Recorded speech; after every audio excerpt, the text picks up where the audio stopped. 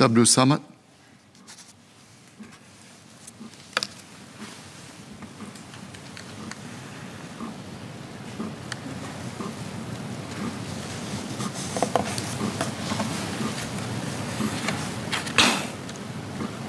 Chairman, we have seen many of our existing HDB and commercial buildings have installed solar panels at their respective rooftops.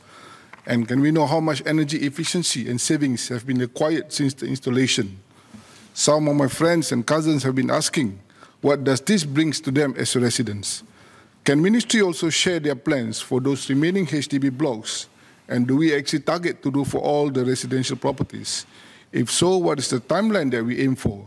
In addition to that, is MND also planning to do this for the new HDB residential properties that is via the BTO and the new buildings upcoming? I would also like Ministry to share how can each residents know the value of solar panels installed at the top of their build, of their blocks. This knowledge will go a long way in educating not just adults, but everyone in the household. Will HDB start to explore having solar window panels so that residents can also play their part in adopting solar consumption?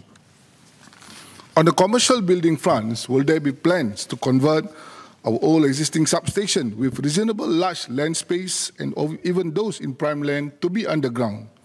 I understand there is currently an ongoing construction of an underground transmission substation and commercial building above it.